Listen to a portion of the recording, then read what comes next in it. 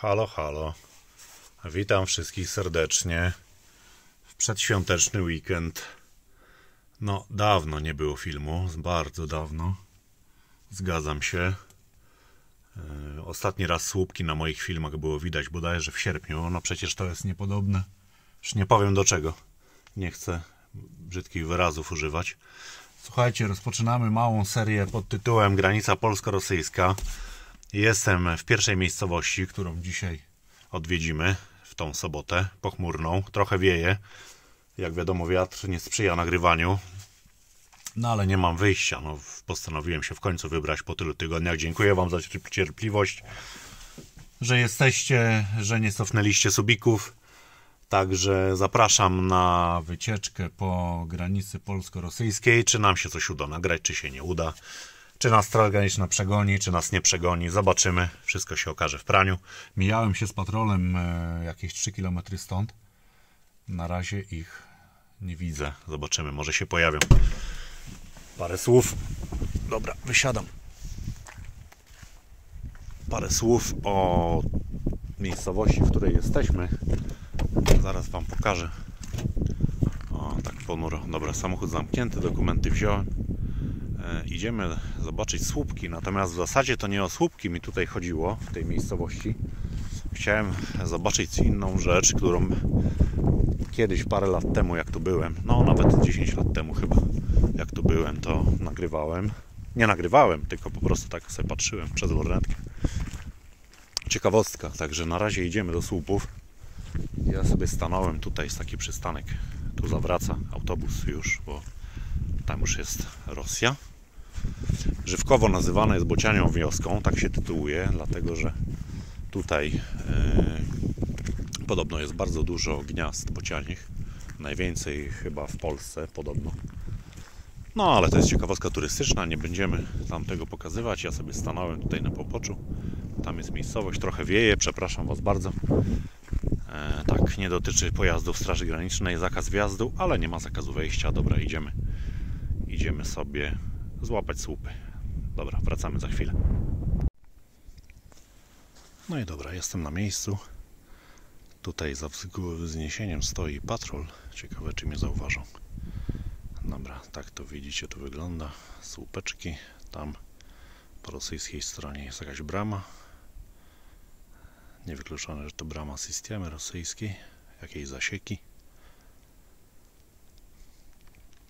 Tak to wygląda tutaj. Tu się kończy droga wojewódzka. Tam po rosyjskiej stronie jakieś ogródki działkowe chyba są, czy coś takiego. Także. Ale nie chodziło mi o słupy, chodziło mi o jeszcze jedną ciekawostkę, którą mam nadzieję Wam pokażę, jak wrócimy tam e, do wsi. Także do zobaczenia w tamtym miejscu, koło samochodu. No dobra, słuchajcie, tej jednej ciekawostki to Wam chyba nie pokażę, bo drzewa urosły i już chyba nie widać tego, co chciałem pokazać. A mianowicie chciałem Wam pokazać Bagriatonowsk, który widać było z Żywkowa. Normalnie ruch uli- uliczny było widać w Bagriatonowsku. A teraz już chyba nie ma tego miejsca, bo drzewa urosły. Byłem tu 10 lat temu, no to mogło się to zmienić.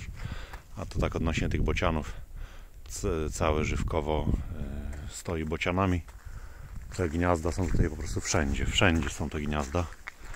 Także a tutaj na drzewach. Tu jest taka wieża widokowa w tym gospodarstwie. Ale nie sądzę, żeby z tej wieży było coś widać. E, Teren górzysty, zalesiony. Także no nic, dobra, jedziemy dalej. Także do zobaczenia w kolejnym chyba miejscu. Taka spokojna wioska, bardzo malownicza swoją drogą. O, wszędzie tutaj na, te, na temat tych bocianów informacje. Wioska na granicy polsko-rosyjskiej. Bociania wioska. Także przeszedłem całą wieś. No i nie udało mi się niestety odnaleźć tego miejsca, także Także wsiadam do samochodu, jedziemy dalej. A w ogóle mam e, rosyjską sieć, także no muszę się stąd wydostać jakoś, żeby złapać polski zasięg, żeby nawigacja poprowadziła mnie w, kolejnym mie- w kolejne miejsce, które chcę Wam pokazać. No szkoda, szkoda, że nie widać Bagretonowska, bo zawsze staram się pokazywać Wam ciekawostki na filmach, a tym razem się nie udało tutaj nagrać. Tak, chyba jednak te drzewa podrosły przez te lata i już nie widać. A stałem tu na dojściu do wioski, także to na pewno było gdzieś tutaj. Eee, No i dobra. To spadamy dalej ponuro, wietrznie. E, Aha, e, chciałem Wam powiedzieć, że zapewne zauważyliście, no już bardzo dawno nie było filmu, dużo się pozmieniało. Zauważyliście, że nie widać łapek w dół na filmach. To jest jakieś nowe zarządzenie YouTube. YouTube tak walczy z hejtem. Także niestety to nie mam na to wpływu. Więc nie widać. Ja też nie widzę nigdzie łapek w dół na żadnych filmach, które oglądam. Wy też nie widzicie. Także to jest zarządzenie YouTube. Takie sobie gospodarstwo cichym, spokojnym Żywkowie. Dobra, nie będziemy gadać tutaj o niczym. Nie ma ciekawostki, to jedziemy dalej. Chociaż powiem Wam, że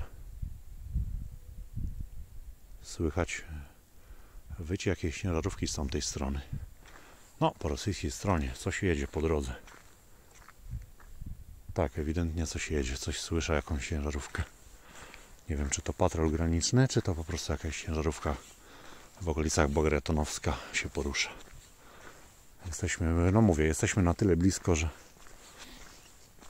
że było widać. Nie dość, że było widać, to teraz nawet słychać. No dobra, to trzymajcie się i do zobaczenia w kolejnym miejscu.